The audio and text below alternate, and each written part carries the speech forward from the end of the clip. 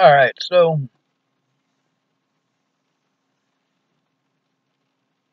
weapons manufacture. I'm not okay with that. Well, not in the traditional sense of the word. Um, for me, the difference between a weapon and a tool is what you're using it for. A weapon is specifically for killing a human being. That's a weapon.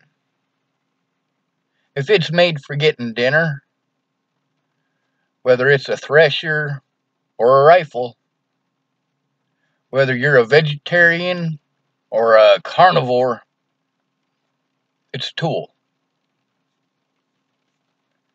There's enough guns that I don't feel the need ever to make one. I could also make myself a semi-auto shotgun pretty easy. Use some basic hand tools and stuff that you get at a lumberyard.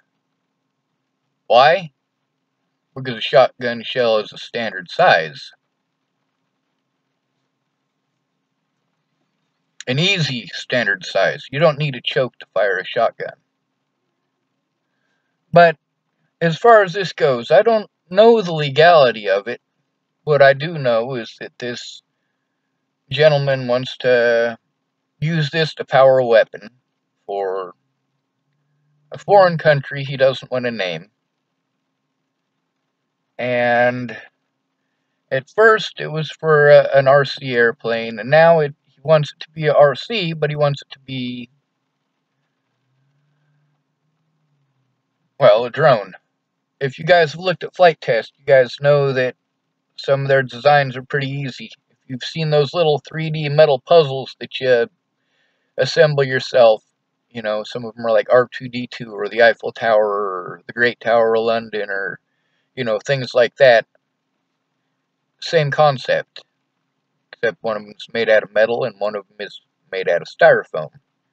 If you were to take those Flite Test ones, adapt the plans just a little bit so that you could make it out of uh, stainless steel instead of a sheet of styrofoam, it's a sheet of stainless steel. You can do a lot with it.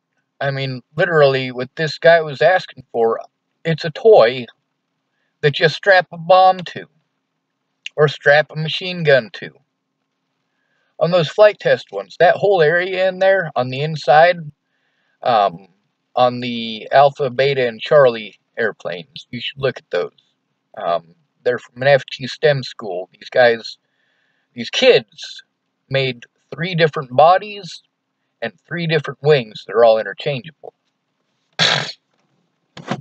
now, inside of the the cockpit portion is where the battery goes and a lot of the other internal components. And off to the two sides, you know, it kind of looks like there's a, a straight through. Well, I could literally make it so that I don't need to make the engine by making that portion of the straight throughs actually be the engine. Extend it towards the back. The little cutout where the blade goes through and spins, I just wouldn't cut that out and I'd extend the portion on the bottom further out.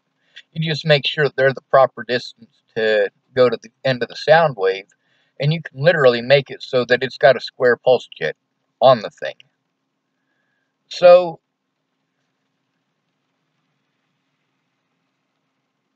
even at its size, when you're talking about something that's got a lot more power, um, yes, you can make it the same size, have it be 10 times the weight of something that's exactly the same size, but you've got an engine that's going to do over 20 times the amount of. Actually, it's more than 20 by a lot. I, I don't know if it's something that I would necessarily feel safe testing without being behind a shield. Um, just because until you've got the, the method right, you might not have everything to peak performance. Me, I don't have a lot of experience with uh, making moving surfaces like on an RC airplane. So, if I screwed it up just a little bit and instead of it launching straight, it comes back around at me, that, that's not something that I'm going to like. Um,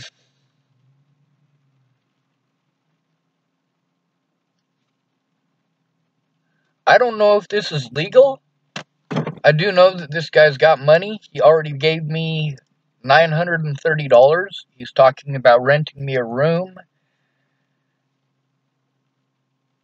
and a garage so that I can build these things.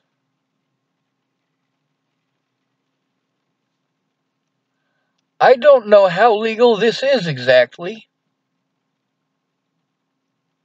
I do know that making it as a weapon, for me, is against the law. But all I'm making is the engine. The issue that I have is that this guy is wanting to give it to a foreign power.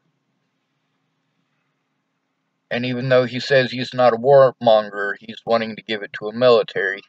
I don't know if this military is our allies or our enemies.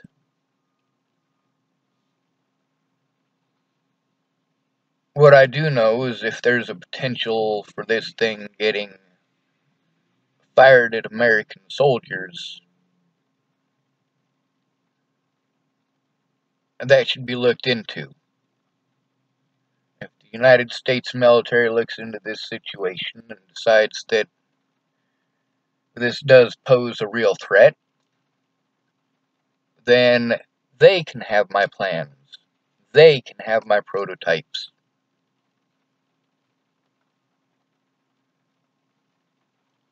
I'm against the military, and I am not down with our government at all. Because I love the Constitution. We need it back. But at the same time, just because I don't like our military and I don't like our government doesn't mean I don't love our soldiers. They're human beings, same as we are. And I know some of them soldiers. And you know what? If there's going to be a fight between somebody I love and somebody I don't know, I want the person I love to come out on top. Yes, that is selfish. I agree. However, you guys do what you want. Um, I tried to get his first and last name both on there. Um, I met him through YouTube. Uh, a guy who makes pulse jets by the main name of Maddox, M A D D O X. Um, I was trying to send him my blueprints for free, and this other gentleman offered me money to to make it. I was pretty well set on prisoner suicide at that point, so yeah, um,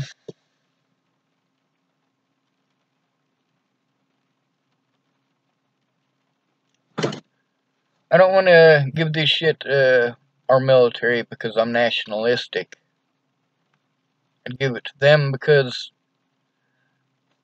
there are people I love very much who are in the military.